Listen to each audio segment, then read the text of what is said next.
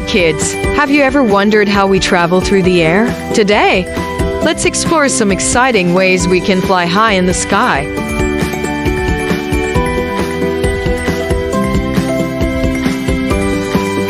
First up, we have the airplane.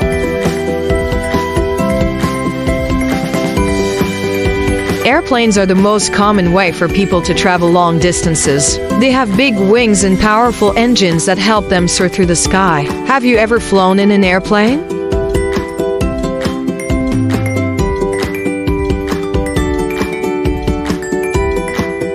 Next, we have helicopter.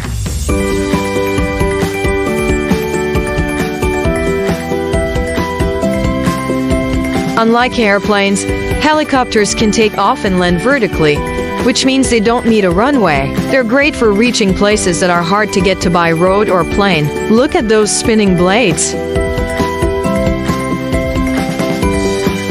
Now, let's look at something really fun, a hot air balloon.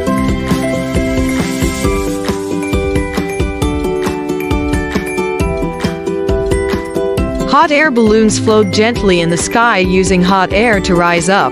They're perfect for a peaceful and scenic ride. Wouldn't it be amazing to ride in one of these?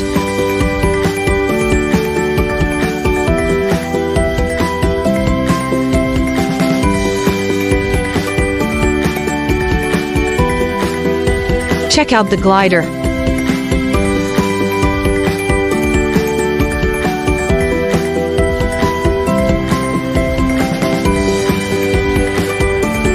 Gliders are special airplanes without engines. They use air currents to stay in the sky. Gliding is a quiet and serene way to fly, almost like a bird.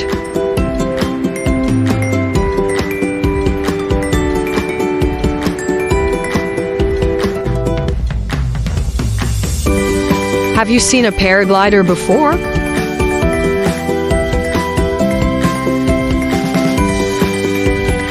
Paragliders use a parachute-like canopy and the pilot controls it by shifting their weight.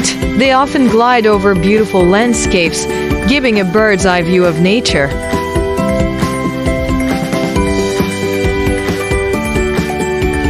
How about something futuristic? A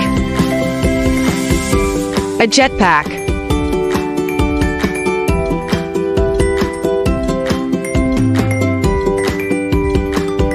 Jetpacks allow a person to fly with the help of powerful jets strapped to their back. It's like being a superhero.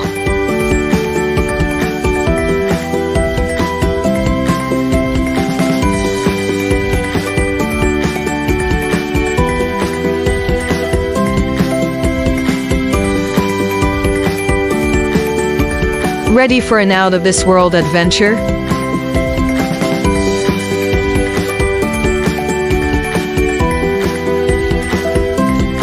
Rockets are used to travel to space. They have powerful engines that can take them beyond our atmosphere. Astronauts use rockets to explore the moon, Mars, and beyond.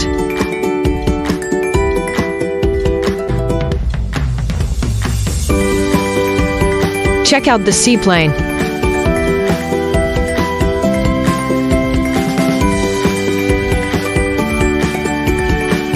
Seaplanes can take off and land on water, making them perfect for reaching remote islands and lakes. They combine the features of an airplane and a boat.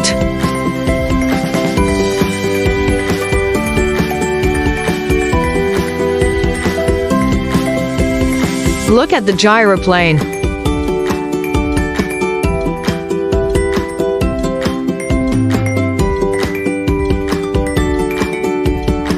Gyroplanes or autogyros have a rotor like a helicopter and a propeller like an airplane. They're small and agile, and they can fly at low speeds safely. Wow! We've seen so many amazing ways to travel through the air, from airplanes to helicopters, hot air balloons, gliders, paragliders, jetpacks, rocket, seaplane, and gyroplane. Each one has its own unique way of flying. Which one is your favorite?